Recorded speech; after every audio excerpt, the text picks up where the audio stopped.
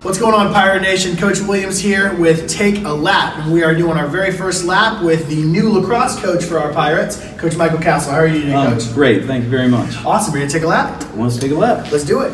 So, on long drives, what do you listen to on the radio? Uh, mostly Tom Petty, uh, anything classic 70s, 80s kind of music. Every now and then we'll switch over and just hit the scan and see what's out there. Catch Okay. my attention. All right. If you hit a gas station and you got to have a snack, what's your go-to? Uh, Please don't make it something good for you. That's always, that always makes me upset. Well, it's mostly peanuts, or if I can get a, uh, you know, a bag of peanut M&Ms as well. Okay, I'll take the peanut M&Ms. Regular peanuts, so so much. Uh, what is your vision for lacrosse moving forward with our Pirates? I really just want to, you know, create and grow the game and, and make it a sport for kids that are looking for something different than your traditional sports. Uh, it offers so much of basketball, soccer, football, wrestling, all into one on a field that was created uh, by the Native Americans here in America and kind of lost its vision and now has really regained its popularity. And when kids get involved, they find out that it, it really truly is enjoyable and something that they wish they had gotten into earlier in life. Oh, okay.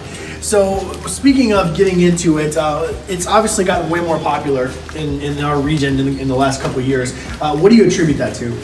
I attribute that a lot to kids just having more opportunities than they used to, but I also attribute it to the fact that uh, you're looking at so many kids trying to find an avenue other than football that allows them to be physical in a sport without the Make sure our negative cameraman doesn't get racked on the door there. So it's another avenue for kids to play and, and allow their physical components to come out and, and still be a, a viable thing. Football is one a wonderful sport and teaches kids so many avenues. This this gives them that component of hey, I'm allowed to come out here, I'm allowed to be physical, I'm allowed to be aggressive and get my actions out. And um, but I don't have the constant battering that football is. Okay, uh, last question for you. Uh, what movie could you watch over and over again on repeat? Animal House.